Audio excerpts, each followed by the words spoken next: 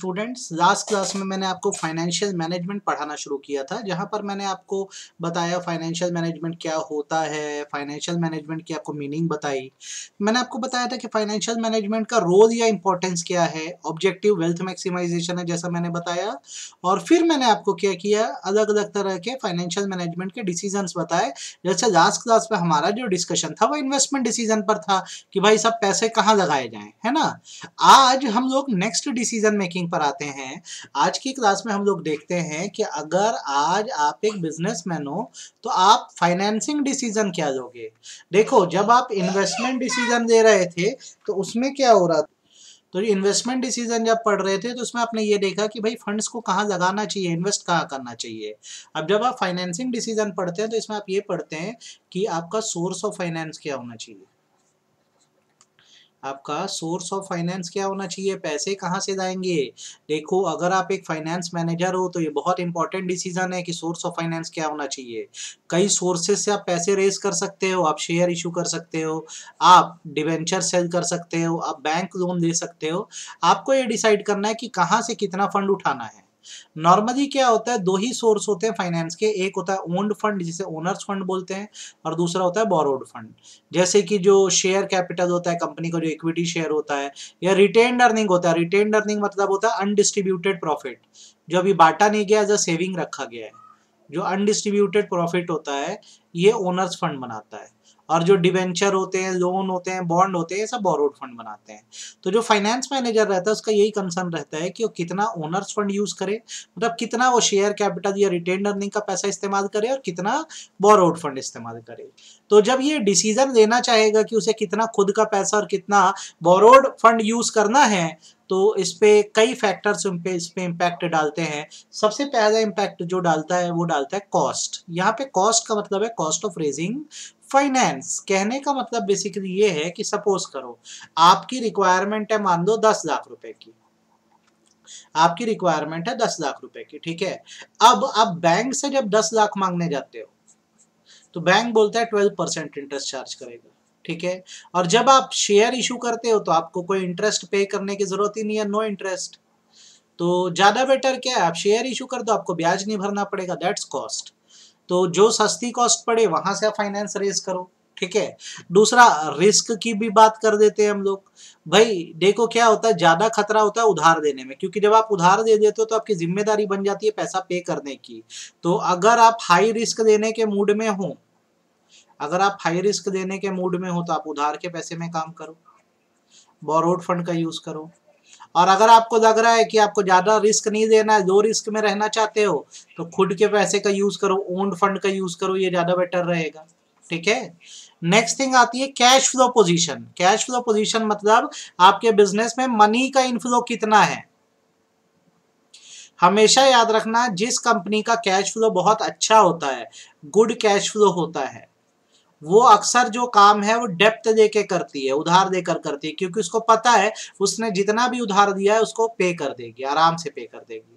लेकिन अगर आपका अनइवन कैश फ्लो या बैड कैश फ्लो है मतलब आपको जल्दी पैसे नहीं आते हैं लेट आता है पैसा तो कभी उधार मत लो। आप खुद के पैसे का इक्विटी का इस्तेमाल करो, ज़्यादा बेटर रहेगा आपके लिए।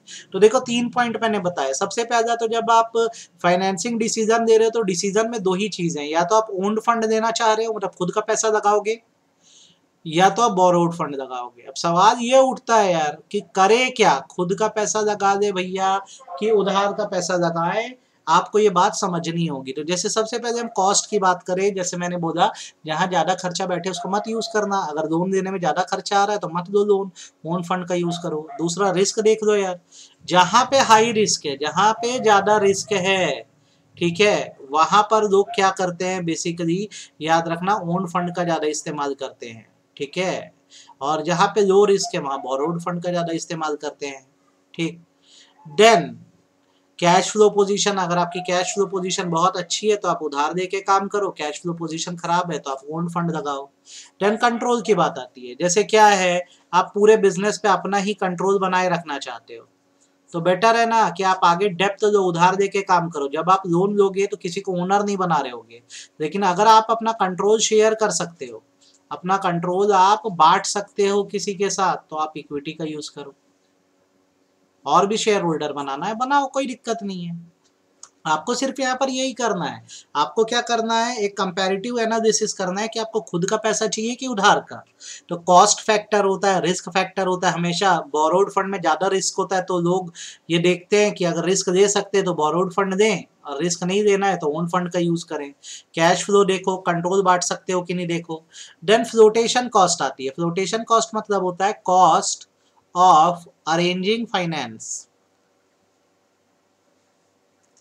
finance arrange करने की कॉस्ट को हम बोलते हैं फ्लोटेशन कॉस्ट तो इसमें बेसिकली क्या होता है ये बात याद रखना कि अगर सपोज़ करो, आपको मैं एग्जांपल दे रहा हूँ, आपको चाहिए पाँच करोड़ रुपए। अब इस पे जो ब्रोकर है, वो बोलता है, मैं आपके शेयर बिकवा दूँगा, लेकिन मेरा कमीशन होगा पाँच परसेंट शेयर बिकवाने पे।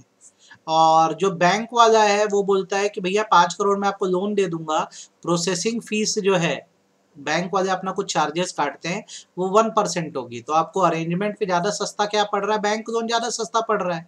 शेयर बेचोगे अगर पाँच करोड़ इकट्ठा करने के लिए ब्रोकर आपसे पाँच परसेंट कमीशन दे रहा है और लोन लेने पर आपको प्रोसेसिंग फ़ीस एक परसेंट पे करनी हो रही है तो वो ज़्यादा बेटर है। देन आप फिक्स्ड ऑपरेटिंग कॉस्ट देख लो।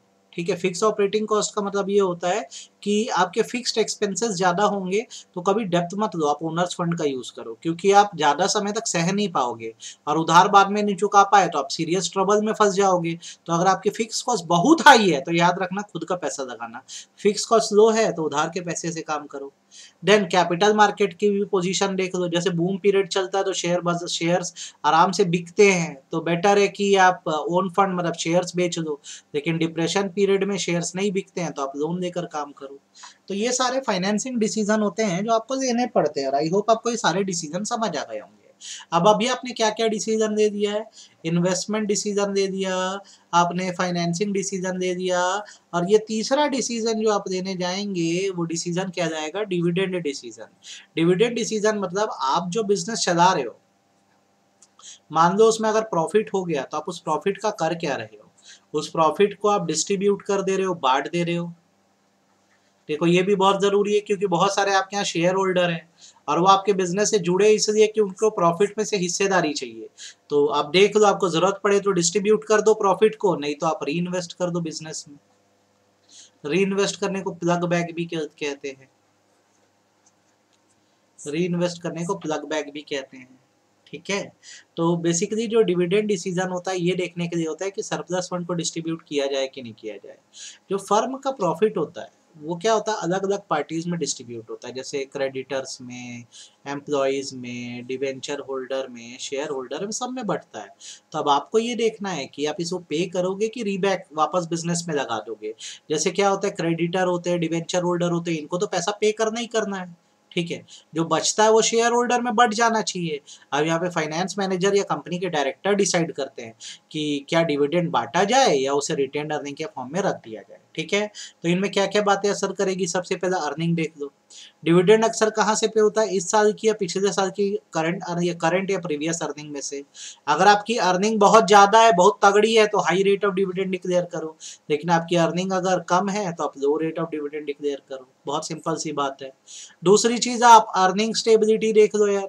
अर्निंग स्टेबिलिटी का बेसिकली मतलब होता है कि जो कंपनियाँ स्मूथ या स्टेबल अर्निंग करती है, वो हाई रेट डिविडेंड देती हैं और जिन कंपनियों की अर्निंग अनस्टेबल होती है, वो low rate of earning low rate of dividend देती है। ये अर्निंग नहीं है, इसको काट के डिविडेंड दिख देना।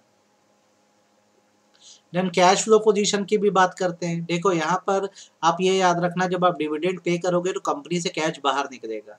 तो अगर आपके सरप्लस कैश हो, तभी आप ज़्यादा डिविडेंड बांटना। लेकिन अगर कैश की शॉर्टेज हो तो मत बांटना डिविडेंड देन ग्रोथ अपॉर्चुनिटी देख लो। डिविडेंड का मतलब तो समझ गए हो ना तुम लोग? डिविडेंड मतलब होता है वो पार्ट ऑफ़ प्रॉफिट जो शेयर होल्डर में बांटा जाता है। Part of profit which can be distributed पता लगा, यही नहीं पता, और सर बोलते जा रहे हैं। प्रॉफिट का वो पार्ट जो डिस्ट्रीब्यूट किया जा सकता है, ठीक है? अब जैसे ग्रोथ अपॉर्चुनिटी की बात करते हैं, अगर आपके पास बहुत अच्छे ग्रोथ की अपॉर्चुनिटी है तो जितना प्रॉफिट कमा रहे हो, उसको री इन्वेस्ट ही कर दो यार बिज़नेस में आप, है ना? और अगर ऐसा भी कोई ग्रोथ का चांस नहीं है तो डिस्ट्रीब्यूट कर दो प्रॉफिट को, दिक्कत क्या है? देन स्टेबिलिटी की बात करते हैं। जैसे कुछ कंपनियाँ होती है स्टेबल डिविडेंड पॉलिसी फॉलो करती है। मतलब ये कि प्रॉफिट कम हो या ज़्यादा हो, अपनी रेप्यूटेशन बनाए रखने के लिए एक अच्छा डिविडेंड देते हैं ये ठीक है? देन फिर ये देख लो, आप डिविडेंड दे किसको रहे हो? जैसे प्रेफरेंस शेयर होल्डर को दे रहे हो। तो जैसे बहुत सारे ऐसे शेयर होल्डर होते हैं जो प्रेफरेंस शेयर होल्डर नेचर के होते हैं। तो अगर आपकी कंपनी में प्रेफरेंस शेयर होल्डर है तो उन्हें आपको फिक्स डिविडेंड देना ही पड़ेगा। इक्विटी शेयर होल्डर का डिविडेंड ऊपर नीचे कर सकते हो, पर प्रेफरेंस शेयर होल्डर को फिक्स डिविडेंड ही दोगे। देन टैक्सेशन पॉलिसी देख लो। अगर याद रखना गवर्नमेंट टैक्स रेट बहुत ज़्यादा रखी है कंपनियों पे हाई टैक्स रेट रखी है। तो आप जो डिविडेंड पे करोगे, क्योंकि वो इनकम है तो उस पर क्या होगा टैक्स लग जाएगा। तो आप लेस डिविडेंड पे करो, जब टैक्स रेट हाई हो। और उल्टा कर दो वाइस वर्षा जब टैक्स रेट लो हो लो टैक्स रेट हो तो डिविडेंड का रेट क्या करो? बढ़ा दो। ठीक है? आई होप ये बात आपको समझ आ गई होगी और कहीं कोई दिक्कत नहीं गई होगी। ठीक देन बात आती है कैपिटल मार्केट कंसिडरेशन भी देख लो। कैपिटल मार्केट कंसिडरेशन का मतलब ये होता है कि जैसे अभी शेयर बाज़ार में बूम पीरियड चल रहा है, धड़ाधड़ शेयर बिक रहे हैं तो आप क्या करो? खूब लोगों को अपने साथ जोड़ो, खूब डिविडेंड दो। लेकिन अगर मान लो कि अभी डिप्रेशन चल रहा है तो आपके शेयर बिक ही नहीं रहे तो ज़्यादा डिविडेंड भी मट बांटो, कोई मतलब नहीं है। ठीक है। देन कंपनीज़ एक्ट में भी कुछ प्रोविज़न बनाए गए हैं, आप उनका भी ध्यान रखो डिविडेंड बांटते समय। जैसे एक प्रोविज़न है कि भाई, आप डिविडेंड सिर्फ़ अपने प्रॉफिट में से दे सकते हो तो जब प्रॉफिट हो तभी डिविडेंड देना है प्रॉफिट ना हो तो नहीं देना, ठीक है? ध्यान रखना। फिर कई बार कॉन्ट्रेक्चुअल कंस्टेंट रहते हैं। कॉन्ट्रेक्चुअल कंस्टेंट मतलब ये बैंक की टर्म्स एंड कंडीशन होती है। जैसे आपका बैंक में बहुत ज़्यादा पैसा बकाया है तो रिस्ट्रिक्शन लगा देते हैं कि भाई, आप अभी प्रॉफिट मत बांटो, पहले हमारा लोन पे करो। ठीक है? आखिरी है स्टॉक मार्केट रिएक्शन अगर स्टॉक मार्केट उछाल पे तो आपके बहुत अच्छी खबर है। बांटो डिविडेंड और लोग जुड़ेंगे। लेकिन अगर स्टॉक मार्केट गिरा तो डिविडेंड मत बांटो। तो अब इसको एक बार लेक्चर को दो बार सुनना और एकदम अच्छे से पढ़ देना। ये लेक्चर नंबर टू है, यहाँ पे आपको मैंने तीनों डिसीज़न समझा दिए। इन्वेस्टमेंट डिसीज़न पहले पढ़ देना इन्वेस्टमेंट डिसीज़न के इम्पोर्टेंस और क्या फैक्टर उस पर असर करते हैं। फिर पढ़ना अपना फाइनेंसिंग डिसीज़न फाइनेंसिंग डिसीज़न में आपको रेशियो बनाना है कि उधार का पैसा देना है कि खुद का पैसा देना है। और तीसरा डिसीज़न डिविडेंड डिसीज़न तीन फैसले देने हैं। दैट्स इट ये करो। अगले लेक्चर में थर्ड लेक्चर में मैं आपको आगे का कंसेप्ट बताऊँ